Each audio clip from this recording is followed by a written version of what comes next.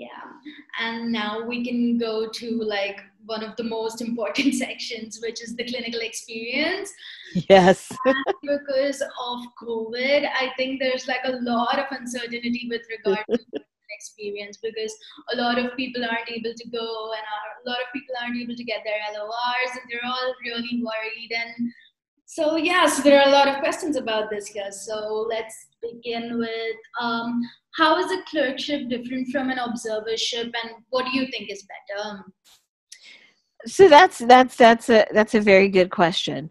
So a clerkship differs from an observership in that traditionally or by definition a clerkship involves actual patient care responsibilities uh, actual patient interactions. The clerk is responsible for uh, interviewing the patient, performing a physical exam, eh, and uh, creating or presenting uh, an assessment and plan. And so, classically, that is what a clerkship entails. An observership, traditionally, by definition, is exactly that. You are in the room observing you do not get to interview the patients. You do not get to uh, do perform your own physical exam on the patient or interact at all, and you don't know uh, you can formulate an assessment and plan but that would be based on the information that's gleaned from the uh, doctor or provider who interviewed and examined the patient. So traditionally those are the differences between clerkships and observerships. However the actual experience that occurs uh, on an observership uh, may may be equal to that of a clerkship depending on the location at the discretion of the of the preceptor. In the truest sense, typically clerkships are going to be done and and only be available to students who are still in school who who haven't graduated. And then once you've graduated, you can't do a clerkship anymore. So they're all going to be constituted as observerships what happens in an observership will vary based on location and preceptor but the definition of them will not will not change. So so in that way so when i uh, uh, from a from a, a an applicant standpoint if i read that a person did a clerkship then i already know this person is someone who hasn't finished medical school yet or if I read that they did an observership, I already know this is someone who has already finished medical school. So beyond that, there really isn't a difference.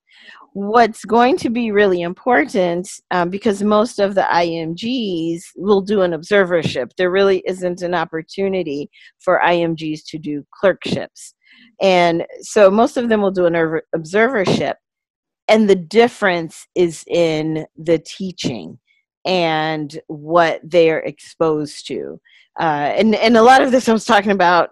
I was it was pre-COVID because at this point, uh, the American medical students are doing uh, observerships, but they're still definitively they're still going to be clerkships because they're American medical students.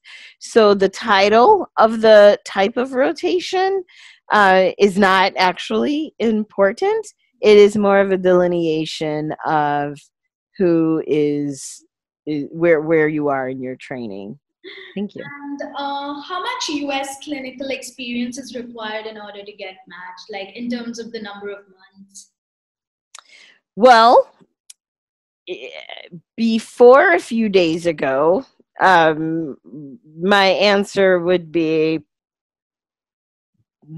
I don't know because it's different for everyone, but I would suggest at least two.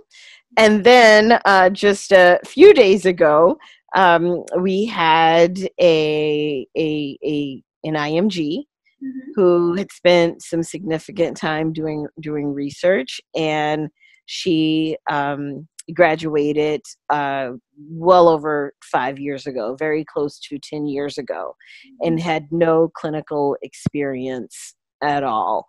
And, uh, and she did one uh, telerotation, actually, and she reached out and um, and and communicated with some programs, and she actually received a a job, uh, a prelim year um, position at a program in the area that she wanted.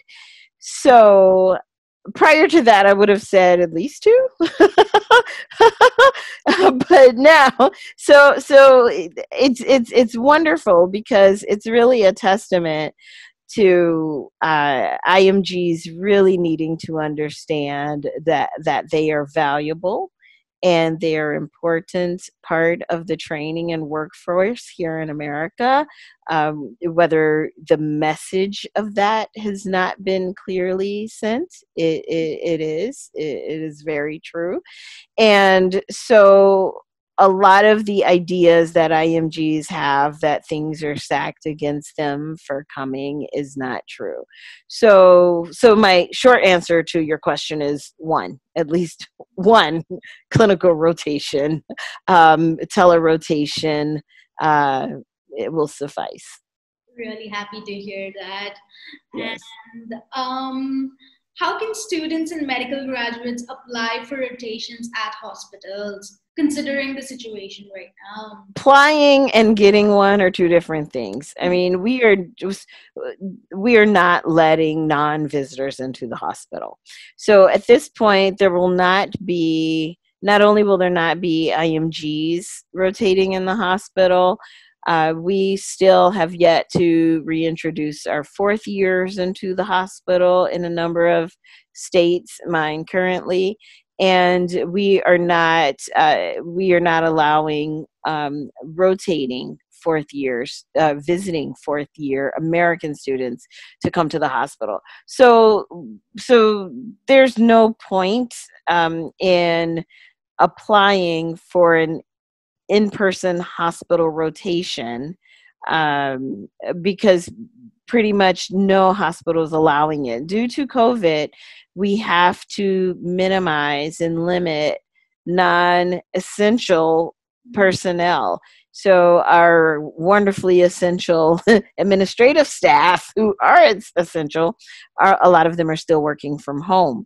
And we still are not allowing visitors into the hospital. So, families are still there without their, or patients are still there without their families being able to visit. So, while I understand the the perceived um, importance and urgency of which the IMGs would like to have a hospital based rotation, that is not happening. And it's unlikely to happen prior to, at the earliest, I would say summer of 2021.